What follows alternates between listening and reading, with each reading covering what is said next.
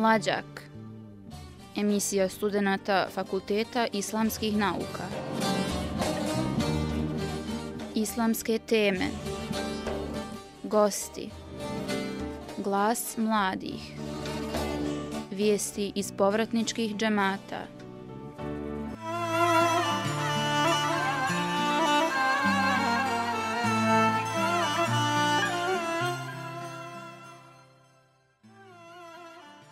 Poštovani slušatelji Radija Bir, Esselamu alaikum. Dobrodošli u drugu emisiju Mlađak, emisiju koju uređuju studenti Fakulteta islamskih nauka u saradnji sa drugim fakultetima Univerziteta u Sarajevu. U ovoj emisiji pripremili smo vam. Za rubriku Centralna tema ovaj put smo odabrali čitanje kao kuranski imperativ. Tim povodom smo napisali svoj osvrt na ovu temu – obavili razgovor sa studentima koji su se posebno istakli u ovoj oblasti, kao i proveli anketu među građanima Sarajeva.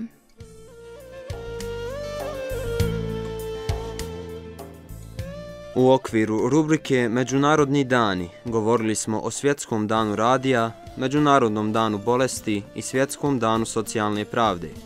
Pored muzičkog predaha uz Akademski hor Fakulteta islamskih nauka, Za vas smo pripremili novu rubriku pod nazivom Studenti u posjeti povratničkim džematima, za koju vam ovaj put donosimo razgovor sa glavnim imamom Međusa Islamske zajednice Rogatica, Amel Efendijom Kozlićem, te povratničkom porodicom Salan iz ovog Međlisa.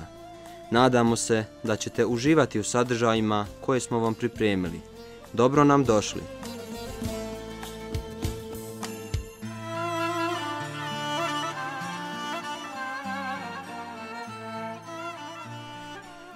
Čitaj.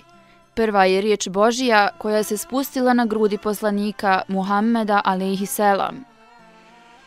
Ova riječ je promijenila čitavu generaciju ljudi i postala paradigma koja je obilježila stoljeća razvoja muslimanske civilizacije. U nastavku poslušajte osvrt na čitanje i učenje iz pera Alme Kubura, studentice Fakulteta islamskih nauka.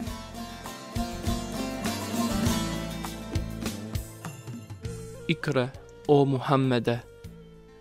Već 27. noć, kako Muhammed u pećini hira dušu smiruje, misli razbire, noć kao i svaka druga, poneka zraka mjesečine u pećinu dospije, a onda ogromna svjetlost pećinom zavlada. Dah stade, srce zatreperi, a Džibril je min prozbori. Uči, o Muhammede, i tako tri puta ponovi, a onda ga pritisnu obgrli, pa opet prozbori, uči u ime gospodara tvoga koji stvara. Prve riječi objave, prvi dolazak Džibrila i prva naredba u islamu. I Muhammed posluša riječi gospodara svoga, pa izraste od onoga koji ne znade ni čitati ni pisati, do onoga ko udari pečat poslanstvu. Izraste u onoga koji najbolje zbori, u onoga koji ljudski rod preporodi, čitanje ga uzdiže i oplemeni. Iz pećine Hira ove riječi odjeknuše, obuhvatile su Muhammeda, a onda i cijeli ljudski rod, od čovjeka do čovjeka. S ovim riječima Islam počeše, s naredbom da čitaš Muhammede, i ne samo ti, i Osman, i Alija, i Hatidža, i Aisha, i svi oni koji Islam prigrliše, koji se ovom istinom zaodjenuše, Zašto objava baš s ovim riječima je krenula? Prve riječi nisu bile klanjaj, o Muhammede, nego čitaj. Muhammed nije znao ni čitati ni pisati, pa objava dođe da ga preporodi, da ga savršenim čovjekom učini, jer samo onaj koji čita, otvaraju mu se vrata mogućnosti, da nauči, da spozna, da sebe oplemeni i upotpuni da se razvije u velikog čovjeka koji će moći da ponese emanet davno preuzet, da ga ponese, ali i do kraja iznese. I dok su muslimani čitali, ispoznavali i cjelokupni islamski svijet i civilizacija su napredovali, a onda kada su muslimani čitanje zapostavili, počeše nazadovati i još uvijek nazaduju, sami sebe u tamu utjeruju. Čitanje je uzdiglo Muhammeda, ali je bilo i razlog kojim se uzdigla cijela muslimanska zajednica. Ono je svjetlo napretka i prosperiteta, a muslimani ipak biraju tamu, umjesto da hrle svjetlu i prosperitetu. Kao što je čitanje bilo razlog uzdizanja muslimana, isto tako sada može biti razlog ponovnog preporoda islamskog ummeta i osvjetljenje obraza muslimana. Poslanik kaže da su učeni ljudi poput sjajnih zvijezda na nebu, pa čovječe, kad si već zvijezda, onda i sijaj, jer samo ako budeš sijao, ljudi će te prepoznati. Svaki naš pojedinačni napredak pomaže i napredak cjelokupne zajednice. Od pojedinaca koji se zalažu, naše nebo ponovo može da svijetli blještavo, onako kako je svijetlilo i u doba Muhammeda i prvih generacija muslimana koji su ikre shvatili kao primarnu obavezu i na dobar način je ispunili. Kasno nije, za čitanje kasno ne može biti. Dokle god te vid služi, upotrijebi ga kako Allah prvim riječima naredi. Čitaj, neznalica ne budi. O, kako je lijepo znanje, znaju oni koji su spoznali. O, kako je lijepa istina, znaju oni koji su je osjetili. O, kako je lijepa uputa, znaju oni koji su u zabludi bili, pa ih Allah na pravi put uputi. O, čovječe, stvoren si rad znanja, rad istine i rad upute, pa nemoj u zabludi umrijeti. Čitaj, to je put tvog uzdizanja i narastanja. Nemoj da budeš od onih čija su srca zapečaćena, onih koji pored očiju ne vide. Čitaj i očima i razumom i srcem. Čitaj, neznalica ne budi, kroz stihove nam je poručila Amra Duranović, studentica Filozofskog fakulteta. U nastavku poslušajmo njenu pjesmu Neznalica u izvedbi Harisa Huskića, studenta Fakulteta islamskih nauka. Neznalica Čovjek ne zna. Pa ne zna koliko god težio sastanku s duševnim svodom koji čini se tajno nedostižnim, ne zna. Da pogubi se insan u sobstvenoj tami neznanje što se zove. O ti, ti koji si na nebeskom svodu, ti koji si tu, koji spuštaš milost, koji poučavaš insana svoga onome što ne zna i dalje ne znam, voleni. Ti koji kažeš mi koji smo tek praška nevidljivog puta opet nedostižnog, još uvijek ne znam. Mi koji smo tek ništa neznalice na putu tvome. Bože, to bija od praskozorja koje me prati tik kao sjena. Ti, voljeni, koji kažeš robu svome, uči, robe, uči.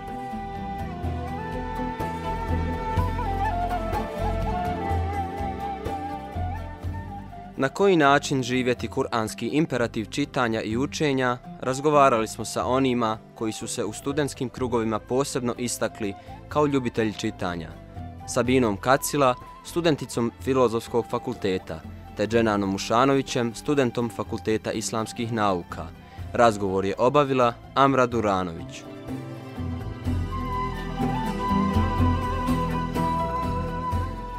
Poštovani slušatelji Radija Bir, U današnjem razgovoru družimo se sa studenticom Filozofskog fakulteta Sabinom Kacilom i studentom Fakulteta islamskih nauka i Filozofskog fakulteta Dženanom Mušanovićem. Dobro nam došli. Za početak, kažete nam nešto više o sebi.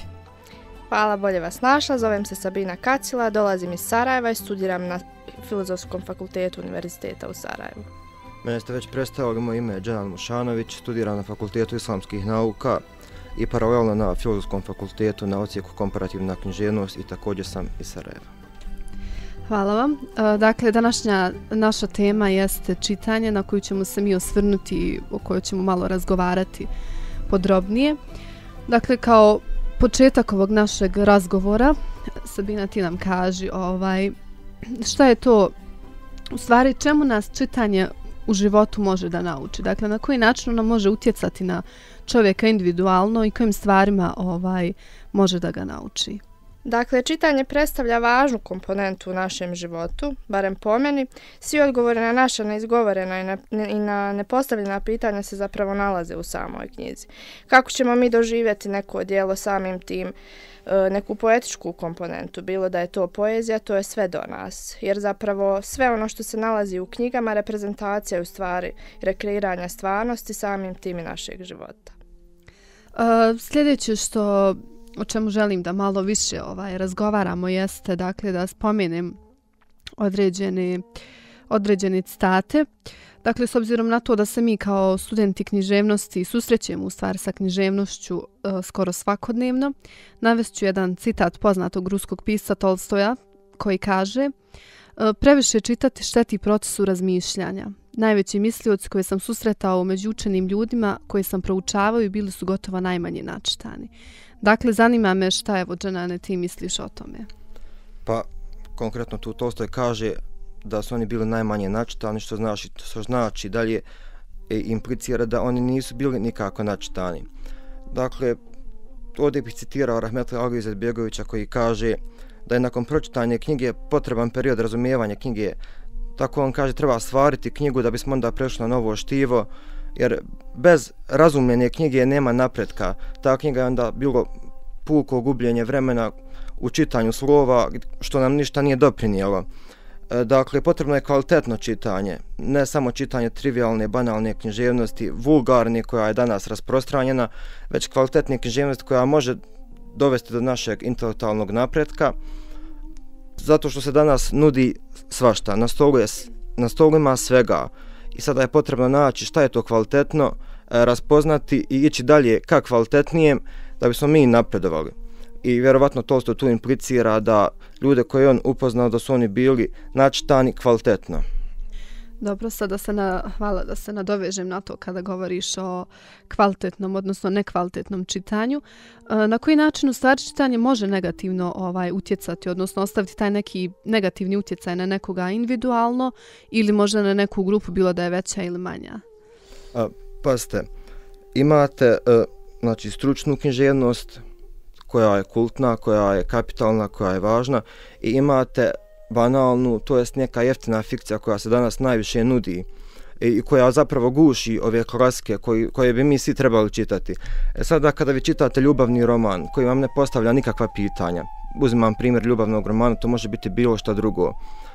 Nakon pročitanje te knjige niste saznali ništa novo, niste se zapitali apsolutno ništa i kako onda da vas to vodi do nečeg naprednijeg, do nečeg boljeg knjiga mora da postavlja pitanja, a nikada daje odgovore. Književnost koja daje odgovore je loša književnost. Možda je u životu vrlo važno i bitno sobstveno iskustvo koje prožima sve nas, uključujući i samo čitanje određenih dijela. Uzmemo za primjer, evo recimo, rekreiranje stvarnosti po Aristotelu, koji je poeziju svatao kao, kao samo stvaranje, dosezanje nekih ljudskih sposobnosti. Evo, kao što je kolega rekao, govorio je o, o konstrukciji samog romana i teksta. Stilske figure, recimo, koje mogu biti zastupljene u tekstu, mogu biti raspoređene na različite načine, ali potrebno je u tom tekstu doprinijeti još mnogobrojnim emocijama koje mogu ovaj dati određenu maštovitost, tako rečeno, tekstu, znači to ako je u pitanju ljubavni roman, hoću reći sentimentalno pričanje, tačnije melodramske priče o ljubavi, nesretnoj ljubavi ili zaljubljenicima koji prolaze kroz razne događaje i doživljaje ujedno i spomenut ću gotske romane koji su zastupljeni u srednjem vijeku kolegica je upravo spomenula da mi knjigu dopunjavamo zapravo. E, to ono što sam na početku pa ukratko rekao, e, dopunjavanje knjige se upravo vrši našim iskustvima, emocijama, doživljajima, e, E, ne znam, našim stavovima. Dakle, i to je, to je zapravo aktivno čitanje i to je aktivan proces. Jer pasivnost je gledanje TV-a. Vi kada gledate film, vi zapravo posmatrate neću projekciju njegove stvarnosti. Kada čitate knjigu, svaka individua kreira svoju sliku stvarnosti. Dakle, tu je potrebno uh, aktivni angažman, pregalaštvo da bi se dosjeglo to nešto. S obzirom na to da se brojite kao, da tako kažem, kao aktivni čitaoci, E, kažite nam evo pitanje za oboje. Kada se razvila ta ljubav prema čitanju i kako uopće e, doći do razvitka toga? Kako to na neki način poboljšati, probuditi u sebi, pronaći to negdje u sebi? Jer ja vjerujem da to svako od nas pojedinačno posjeduje. Pa, ja dijelim mišljenje samo da to svako od nas pojedinačno posjeduje.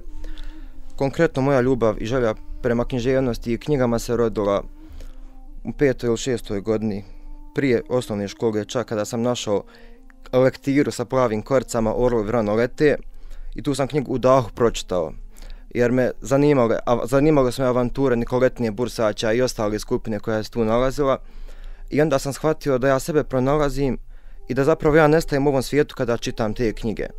I onda sam odlučio da trebam pronaći još knjiga, jer tada nisam imao dostup knjige, bože moj. Dijete od šest godina ne može naći nikakvu knjigu pri sebi, nema ni biblioteke, ni ništa. U osnovnoj sam čitao sve lektire, bilo mi interesantno da pročitam to na vrijeme, da me učiteljica pohvali. I onda sam adres pojavio profesor Mirzet Hamzić, kojeg ovom prilikom pozdravljam i koji je bio moj uh, motivator da počnem zrelije, aktivnije čitati, da knjige shvatam na drugačiji način, da stvorim drugčiju percepciju i što me kasnije nagnalo da pišem. No, u stranu to, e, čitanje za mene životno važan, najvažnija sporedna stvar na svijetu, kao kažu neki za futbal, za mene je to čitanje. Moja ljubav prema čitanju javila se u osnovnoj školi.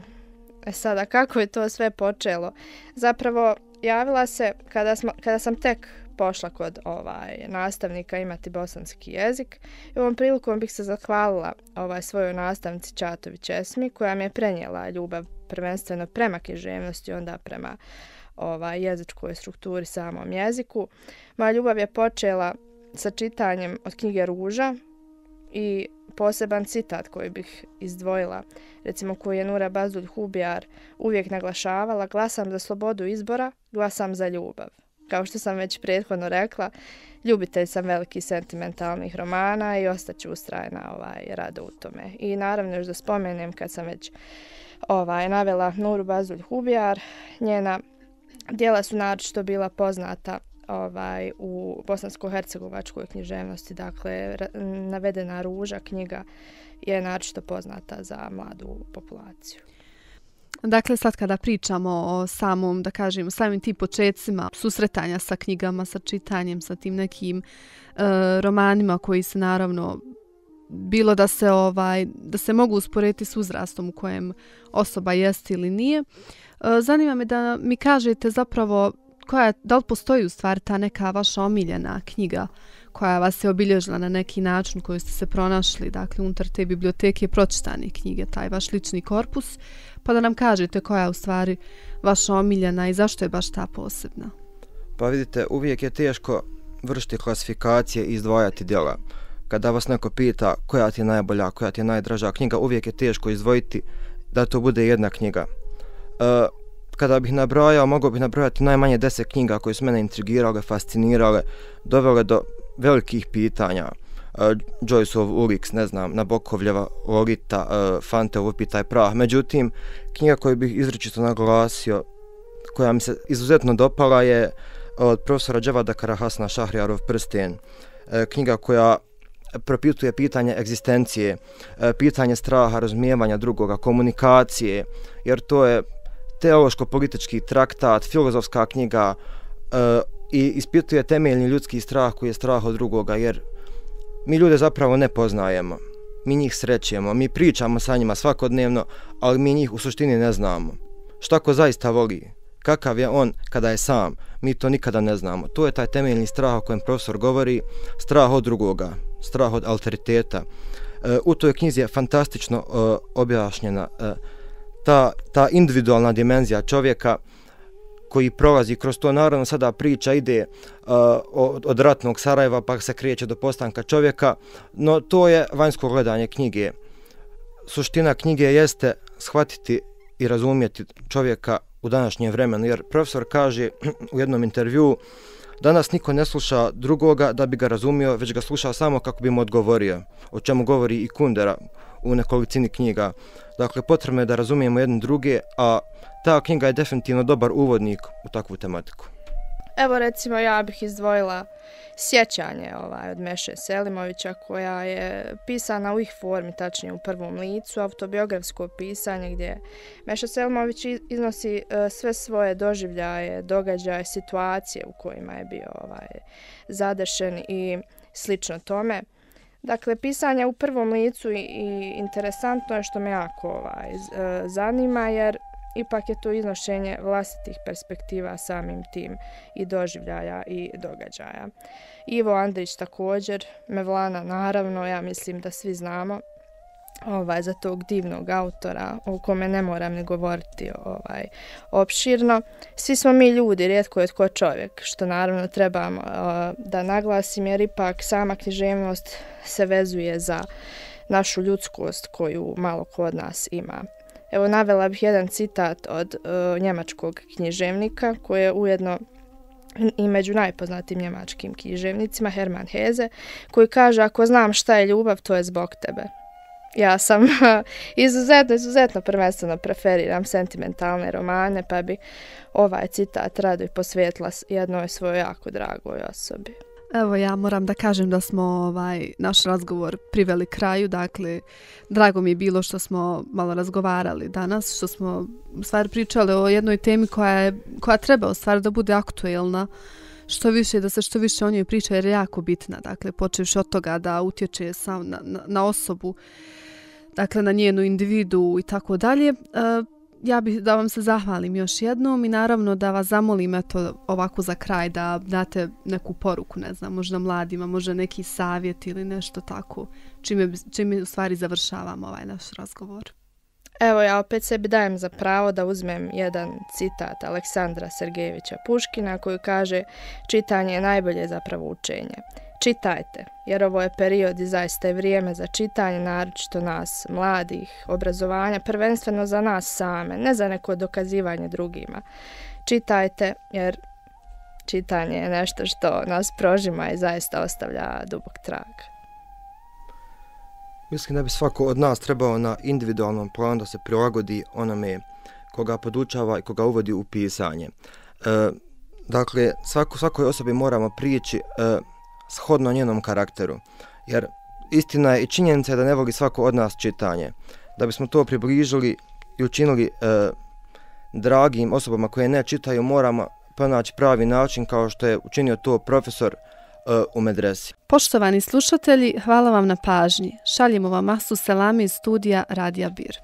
U nastavku poslušajte stavove stanovnika Sarajeva, koje smo anketirali na temu značaja čitanja u našim životima – Građane su anketirali Alma Kubura i Nazif Prentić, studenti Fakulteta islamskih nauka.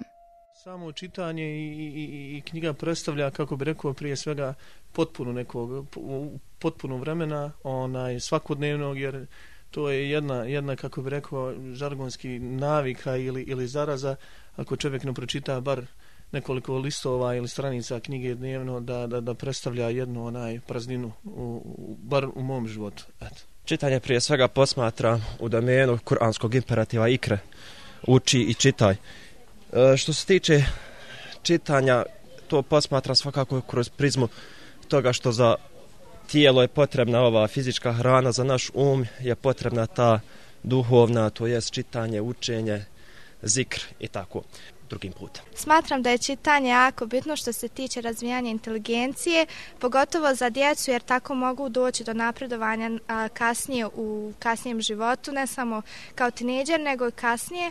Čitanje knjiga, a općenito čitanje, to je jedno od, od najboljih alata za razvoj čovjeka i za razvoj osvajanja novih vještinja, za razvoj čovjeka kao pojedinca i društva kao zajednice ja sam nekako počeo da čitam još kao dijete i to preko stripova, preko Zagora, preko Dilana Doga. I onda kasnije se to nastavilo samo sa literaturom, sa dječjom literaturom, pa se kasnije nastavilo. Mislim, tada nije bilo ni toliko, kako čovjek ostari, što kažu, tad nije bilo ovih, nije bilo društvenih mreža, nije bilo mobitela, nije bilo ovih nekih sprava koje nam odvraćaju pažnju. Ona, I danas primijeti se da i poslije primijetim koliko se manje čitaju ona, ona prava literatura, koliko stvari više vremena provodiš na, nekim društvenim mrežama, na nekim drugim stvarima koje nisu toliko, nisu toliko korisne u odnosu na ono što smo mi neka kao Pa ne, kako se osjećam staro čovječe. kako su te neke generacije prije.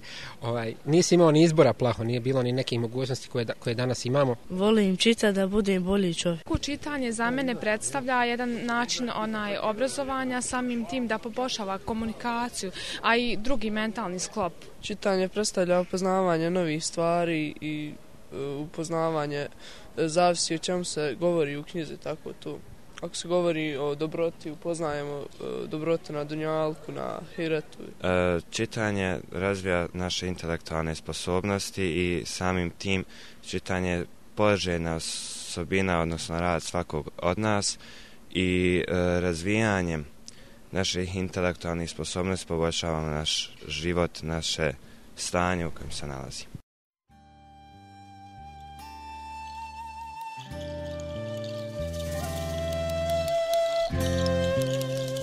Učenje i čitanje je važno kako za um, tako i za dušu čovjeka. Kako smo na početku emisije spomenuli, o tome će nam govoriti Amra Duranović, studentica Filozofskog fakulteta. Potom ćemo u muzičkom predahu poslušati Ilahiju Kamerun u izvedbi Akademskog hora Fakulteta Islamskih nauka.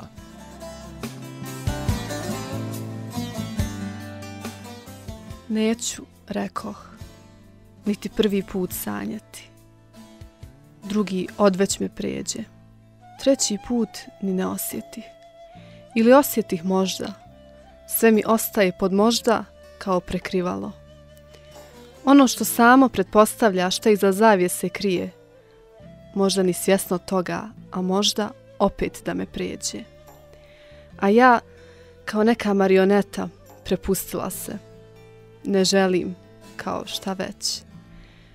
No, unutrini sebe negdje znala sam da odgovor je ipak potvrdan, bez obzira na rosu na paučini, koja se presjavala pod pritiskom sunca kao kristali. I ja bijah kristal. Onaj što se presijava kada ga zraka okupa, onaj što nestaje kada ga kiša dotakne, pa zaovijek uništi. Sve do ponovnog rođenja. Duša mi je pošla putem nekim odavno sasvim nepoznatim i neotkrivenim. Konci popucaše, izgubi smisao marionete što se tako dobro uvukla pod kožu loše prilagodljive glumice. Sada već ostah na podu u tami, posve sama. A oko mene neki tragovi. Da se igram kao riječima što se igram, nada sve iskrenim i sjetnim. Ne dobih odgovor od sebe sami, a i kako bi, kako, kada se ne pronađo kada se utjelovih u život nepoznatih razmjera, život koji ne teče ka meni, život koji sanjam. Evo koristim ove ruke kao sredstvo za trag misli koji nisu isukane na prikraje kobale srca. Ruke, trag i pisanje. Sve mi se to učini poznatim u trenu nekog produhovljenja. Odavno se pita pero šta je, hartija šta je, gospodaru, šta je? Da pero za koje ne zna šta je upotrijebimo, ne bismo li na posljedku saznali za ono čime nas je on zadužio. Ono čemu nas je on podučio, dajući pero i hartiju svakom insanu kao nagradu, kao milost i most kojim bismo doprijeli do visina, do znanja i do onoga radi čega smo zapravo insani, da ne svrstamo sebe u koš marionete, ove već spomenute, one koja griješi, svjesno griješi. Stvoritelju nebesa i zemlje na kojima ispisuješ, podari nama pero koje će da ispisuje. Podari nam znanje koje će biti sebe tvoje zadovoljstva. Podari nam čitanje. Pa da se pročitamo. Onaj koji poučava peru, ti si. Ti si onaj koji čovjeka podučava onome što ne zna. قلبي مملوء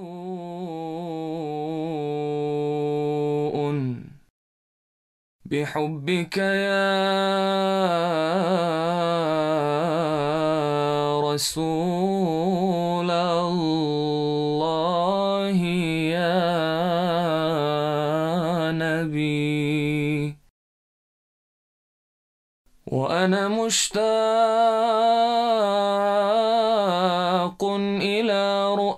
جمالك يا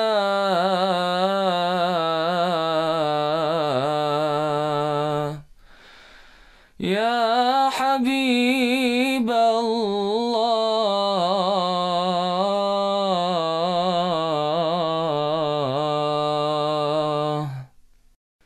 وأرجو شفاعتك يوم القيامة أنت شفيع. المذنبين.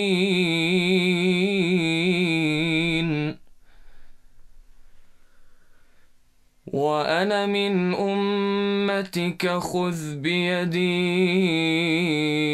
يا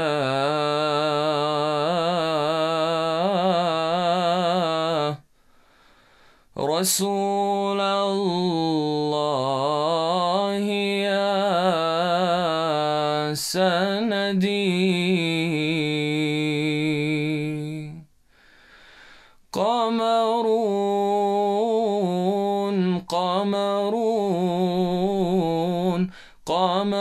سيدنا النبي قمرون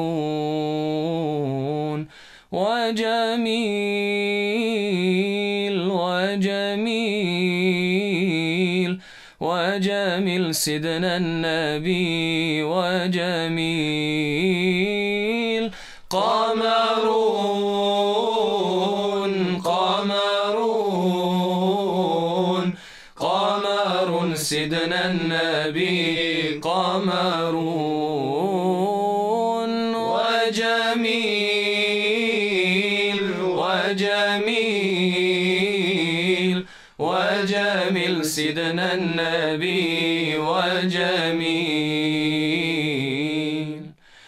وكف المصطفى كالورد ينادي الله الله. وعطرها يبقى إذا مست أيادي. الله الله. وكف المصطفى كالورد ينادي الله الله. وعطرها يبقى إذا مست أيادي. الله الله. وعم نوالها كل العباد وعم نوالها كل العباد. وعم نوالها كل العباد. حبيب الله يا خير البرايا. قمرون قمرون قمر سيدنا النبي قمرون.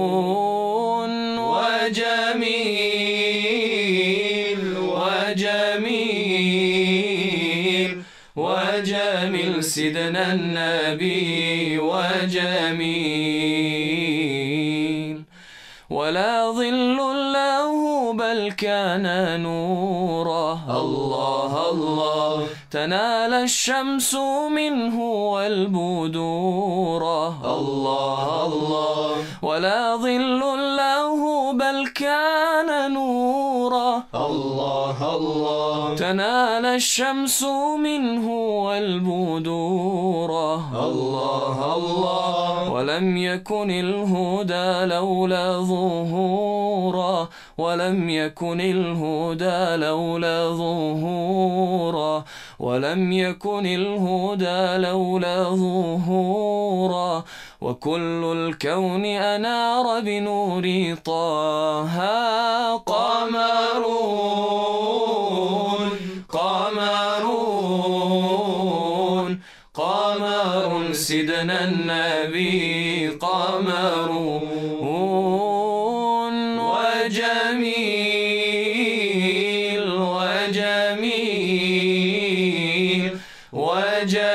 سيدنا النبي وجميل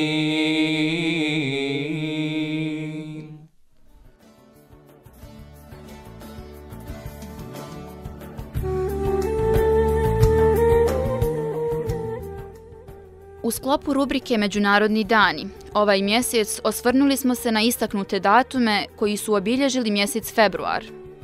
Svjetski dan radija, Svjetski dan socijalne pravde, i Međunarodni dan bolesnika. U narednim minutama upoznat ćemo se sa značajem ovih datuma, a za ovu rubriku nam se za mjesec februar pobrinuo Dženan Nurudinović, student Fakulteta političkih nauka.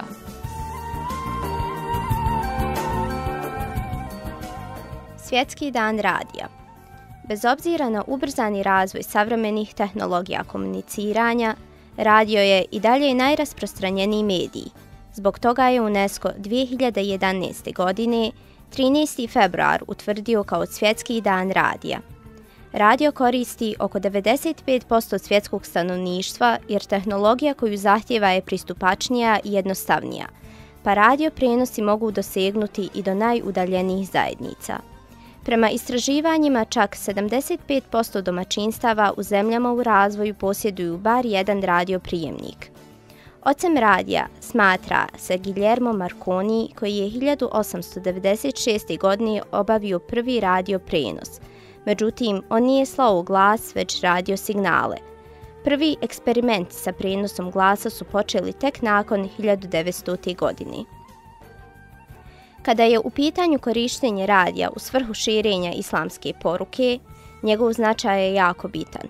U današnjem vremenu mi mladi, hvala Bogu, nemamo problema s tim da dođemo do određene informacije, jer će one doći do nas. Svakog dana smo u mogućnosti steći nova znanja, no uzmemo li u obzir da naši roditelji, a pogotovo naše nane i dede, i nisu toliko vješti u korištenju savremenih tehnoloških pomagala, dolazimo do odgovora koliku ulogu radio igra u prenošenju islamske poruke. Isto tako, ovaj medij je često prisutan u našim automobilima, te odličan način kako da poruka istine i mira dođe do ušiju, a nadati se i do srca javnosti.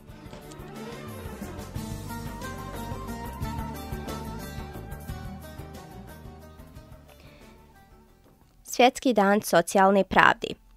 Ujedinjeni narodi su 2007. godine donijeli odluku da će se 20. februar obilježavati kao Svjetski dan socijalne pravde. Socijalni razvoj se mora temeljiti na pravdi, solidarnosti i jednakosti među svim zemljama i unutar svake od njih.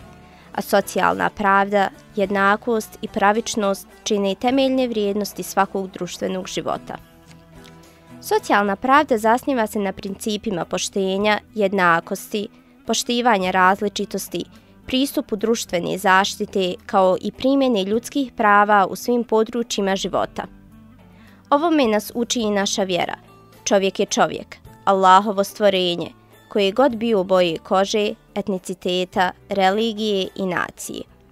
U ovom kontekstu nam kroz hadis govori i naš poslanik sallallahu alihi wasallam – Hoćete li da vas obavijestim o dijelu koje je bolje od posta, milostinje i namaza? Pravite mir jedni među drugima, neprijateljstvo i zlonamjernost iskidaju nebeske nagrade iz korijena. Ovom porukom se treba voditi svaki čovjek, bio musliman ili ne, jer njegov osmijeh koji uputi drugom, lijepa riječ koju mu kaže, gesta kojom ga obraduje, može mu značiti više nego išta na svijetu.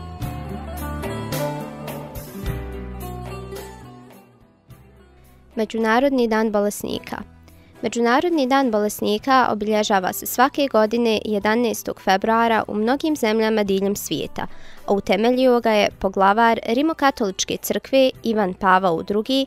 1992. godine kako bi skrenuo pozornost na bolesnike i njihove probleme.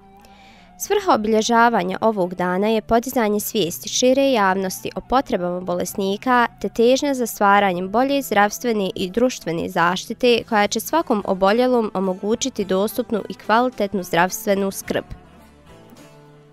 Brojni su hadisi koji su dokaz koliko je pažnje Allahu poslanik sallallahu alihi wasallam pridavao posjeti potrebama bolesnika – Jedan od njih je i sljedeći kog prenosi Ebu Hureyre radijallahu anhu, da je poslanik sallallahu alaihi wasallam rekao Tri stvari su dužnost svakog muslimana, obilazak bolesnika, prisustvo dženazi i nazdraviti, kazati mu jerhamu kella onome ko se zahvalio Allahu nakon što je kihnuo.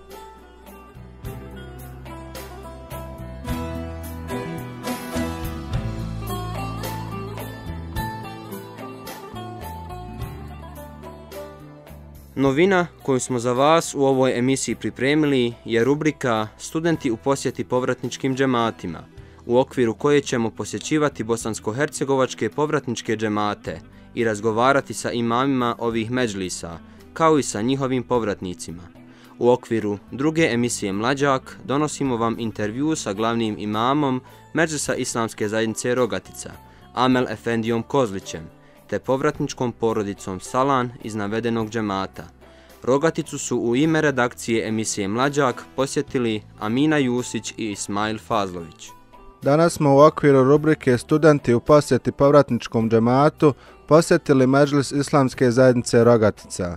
U nastavku razgovaramo sa glavnim imamom ovog međlisa Amel Efendijom Kozlićem. Na početku nam možete reći kako izgleda jedan radni dan imama u povratničkom džamatu. Koje su sve obaveze koje vi obavljate na svakodnevnoj osnovi? Na samom početku valja kazati, ako je to vjerujem svima jasno i veliki broj ljudi to zna, da jedan radni dan imama u povratničkom džematu na području Republike Srpske ili u dijelovima federacije gdje bošnjaci nisu većinsko stanovništvo nije ni sličan radnom danu jednog imama gdje su bošnjaci u većini. E, povratnički džemati naravno su džemati sa veoma malim brojem vjernika koji su tu konstantno prisutni. Naravno svaki radni dan svakog imama bez obzira gdje se nalazi počinje sabah namazom u džamiji. Nakon toga ono što je značajno kazati za imame na području povratničkih džemata, odnosno međlisa, jeste da mi nismo samo imami i naš posao nije samo imamski posao, nego se tu naravno nadovezuju i ove socijalne kategorije koje obuhvataju sve potrebe koje naši, naše džematlije, odnosno naši povratnici imaju. Međutim, i pored toga mi ipak uspijevamo da organiziramo evo konkretno e, na području našeg džemata, džemata Šuđaudinove džamije u Rogatici, centralnog džemata na području našeg međlisa, dakle imamo učenje kuranskog pisma za odrasle osobe dva puta sedmično. Naravno imamo mektepsku nastavu za sedmero naše djece koja pohađaju osnovnu školu subotom i nedjeljom i naravno tu su onda one ostale standardne aktivnosti kao što su bešvaka, džuma namaz i tako dalje. Kakva je međusobna saradnja sa imamima? Koliko imate pomoći od strane džematlija u onome što radite? Mi na području našeg međlisa od ukupno 18 džamija koliko je bilo prije agresije na našu domovinu, danas smo, hvala Bogu, do danas, jeli, obnovili i svečano otvorili 17 naših džamija. E, dva, imamo dva stalno uposlena imama, a ostale naše aktivnosti u u našim džematima nadopunjavamo sa osam honorarnih radnika, odnosno studenta Fakulteta islamskih nauka u Sarajevu. Saradnja među imamima i ovima koji su stalno uposleni i momcima koji su honorarno angažovali naravno na jednom visokom nivou. A, kada je u pitanju pomoć ili podrška naših džematlija, tu prije svega mislimo na e, naše džematlije koji su naši članovi ovdje, a koji ne žive stalno tu i tu se moramo pohvaliti da imamo izuzetno dobru podršku za sve projekte koje mi pokrenemo. Kao neko koji je ovdje glavna podrška svim našim povratnicima, prva adresa koju će se obratiti, kakav je život povratnika u Rogatici i da li su suočeni sa diskriminacijom na bilo koji način? Pa diskriminacija je pitanje koje se nakon agresije na našu domovinu sve ove godine najčešće postavlja i naravno ne bez razloga jer je to veoma bitno i značajno pitanje za normalan život svakog čovjeka. E, shodno tome ne bi bila nikakva novost kazati da naravno i u rogatici postoji diskriminacija. Ali ono što želim kazati jeste da ja sam 8 godina ovdje i hvala Bogu činjenica je da iz godine u godinu diskriminacije je sve manje. Ona naravno e, i dalje postoji, ali ćemo truditi naravno i u, truditi se u budućnosti da ako Bog da to dovedemo na, na, na, na, na stepen da možemo kazati da ovdje nema diskriminacije. Koliko bošnjaka živi na ovom području i koja je njihova većinska dob? Kakva je struktura vaših džematlija? na području džemata Šuđaudinove džame, odnosno u samom gradu Rogaca, mi trenutno imamo 35 osoba, bošnjaka, muslimana, naših džematlija koji stalno žive tu. E, na području cijelog Međlisa Islamske zajednice Rogatica koji geografski obuhvata negdje oko 90% opštine Rogatica i 50% opštine Sokolac imamo 350 naših povratnika koji stalno žive tu. Struktura tih naših džematlija jeste da je negdje oko 80% njih su penzioneri, dakle e, stariji ljudi, a 20, samo 20% njih čine neki mlađi ljudi sa, sa, sa djecom. E, kada je u pitanju, naravno, njihov život e, za penzionere znamo, jel, imaju penziju i od te penzije žive, kada su u pitanju ovi mlađi ljudi, e, ono od čega oni žive i, i, i jeli, obezbjeđuju svoje porodice, svoje hanume, svoju djecu, jesu poljoprivreda i stočarstvo. Da li je povratak našeg stanovništva i dalje prisutan? Ima li novih povratnika i kakva je perspektiva za mlađe naraštaje? E, činjenica je da u proteklih osam godina koliko sam ja ovdje, broj povratnika iz godine u godinu je nažalost sve manji i manji. Međutim, ono što nas e, konkretno ovdje u Džematšu Đudinove džamije ohrabruje jeste evo e, činjenica da smo mi u prošloj godini ovdje u gradu bogatiji za jednu porodicu, porodicu Salan koji su se vratili iz Finske, dakle muž, njegova supruga i dvoje djece koji ovdje pohađaju osnovnu školu.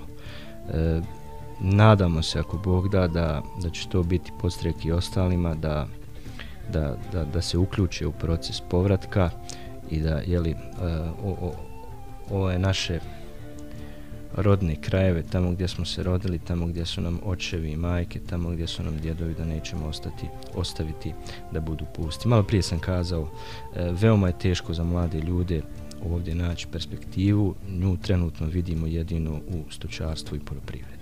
Obzirom da ste i vi svršenik Fakulteta islamskih nauka u Sarajevu, u čemu bi vam e, studenti tog istog fakulteta mogli pružiti svoju pomoć? Kako vi gledate na to?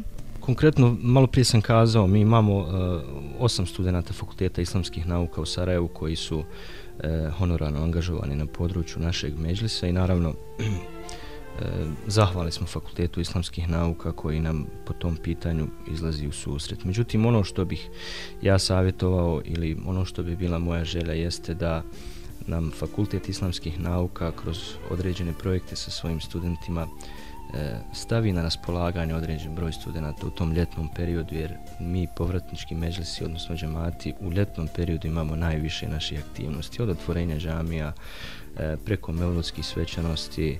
E, nažalost, mevludske svećanosti u ljetnim danima su možda je, u većini naših džemata jedine aktivnosti koje mi organiziramo, pa možda evo, moj prijedlog bi bio da se određen broj studenta svakom našem međlisu u ljetnom periodu stavi na raspolaganje kako bismo obogatili sadržaj tih jednogodišnjih okupljanja u svim našim džematima. I evo na kraju vaša poruka za slušalce Radija Bira. Radio Bir je po meni jedan od e, najvećih projekata islamske zajednice u posljednjih 50 godina. Zahvalan sam islamskoj zajednici koja je pokrenula e, Radio Bir. E, siguran sam da veliki broj naših ljudi e, konstantno cijeli dan provode uz programe Radio Biri. Evo koristim priliku da ipak ću se osvrnuti samo na one e, koji svoje korijene vežu iz ovih povratničkih džemata, a uslijed svima nama dobro poznatih okolnosti više ne žive tamo da uputim poruku, dakle svima onima koji ne žive u svom rodnom kraju, da ne zaboravljaju svoj rodni kraj i da koriste priliku kako oni, tako i njihovi potomci, njihova djeca, da što češće posjećuju svoje rodne džemate. I na kraju još da vam se zahvalimo, dragi naš Amel Efendija, na izdvojenom vremenu, na ovako lijepom dočeku i što ste nas upoznali sa ovom divnom porodcom. Mi se nadamo da će biti još prilika u kojima ćemo se družiti sa vama svima i mimo ove emisije.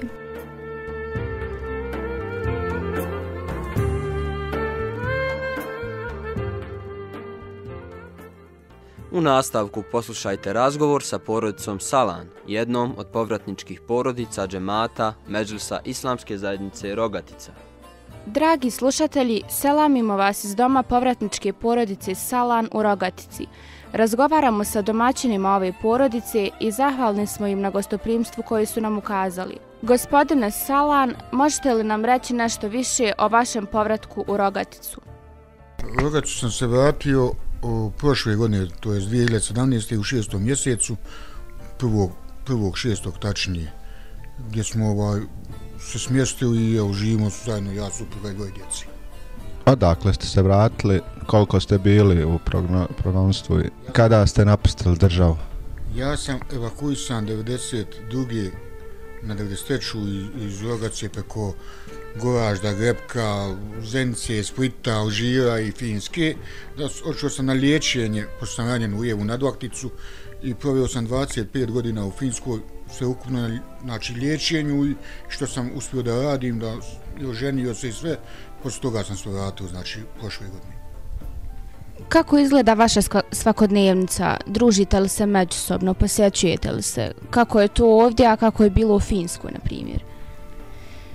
Pa, život nam je ovdje mnogo veseli, jer u Finskoj su ljudi prepušteni sami sebi i obavljaju, znači, za, imaju svoju radne aktivnosti, a ovdje smo u manjini i družimo se, znači, sa bošnjačkom stanovništvom.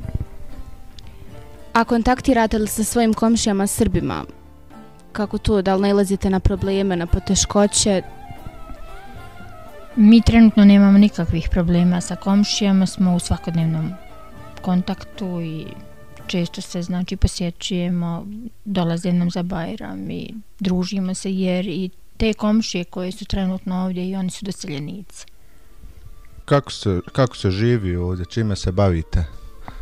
Pa kada sam otišao u Finsku, ja sam inače završio uh, tenčija finalne PAD 9. i radio sam ovdje prije rata oko 7 godina u tvonci namještaja. E, uh, Goje kad sam otišao, pošto, nisam mogao, pošto sam ranjen i nisam mogao više tako da radim, ovaj, prepovukao sam se vozača autobusa. I vozio sam 5 godina autobus, ono što bio. I onda kada sam se vratio ovdje, otišao sam u penziju u Finskoj i vratio sam se, sad živim ovdje od, od te moje penzije inostrane na od Finske. Kako je odgajati djecu u uslovima u kojima vi živite? Obzirom da imate evo još malo patinejdžera i jedno mlađe dijete. Pa meni se čini da je mnogo lakše kada si u svom i na svom odgajati dijete nego kada smo bili u, u, u Finskoj. Jer iako smo i gore imali vjeronauku jedan put sedmično, ovdje nam je nekako mnogo, mnogo lakše. Djeca posjećuju mekteb i ipak više se uči o tom vjerskom obrazovanju nego što smo imali prilike gore. Ima li nešto da vam nedostaje u rogatici? Pa dobro, ona, mnoge stvari su pozitivne, a ima tu neki, neki stvari koje stvarno treba poboljšati, recimo, uh, oko posla, mislim, primanja koje imamo su nezadovoljna za našu porodcu, suprova je nezaposlena, uh, djeca idu u školu, mislim, kad bi imao neki, neki posao za suprugu, pa i za mene neki, to bi nam dosta poboljšao finansijsku situaciju i življenje. A što se tiče ovaj, samog druženja i, i ovaj, inače ovo bošnjačko stanovništva, tu smo na velikom nivou, zahvaljujući našim Efendi Ameu, koji su nas okuplja preko džemata, preko, preko džamije, preko inače druženja, tako da stvarno, stvarno onaj, smo prezadvoni što se tiče toga mi vam se zahvaljujemo na gostoprimstvu, na vašem sudjelovanju u ovom intervju. Drago nam je doći u naše povratničko mjesto i vidjeti da još ima ovakvi porodica sa ovakvom atmosferom, pravom porodičnom i želimo vam svaki hajr. Poštovani slušatelji, došli smo do kraja još jedne emisije Mlađak. Nadamo se da ste uživali u sadržajima koji su vam za ovu emisiju pripremili. Ali Drkić, Alma Kubura, Amina Arnaut, Amina Jusić, Amra Duranović, Anes Gađo, Dženan Rudinović, Haris Huskić, Ismail Fazlović, Ilma Karzić, Lejla Karkelja, Nazif Prentić te urednica emisije Amina Mujela. Do sljedećeg slušanja budite nam dobro i zdravo, uvijek inspirisani i puni pozitivne energije. Assalamu alaikum.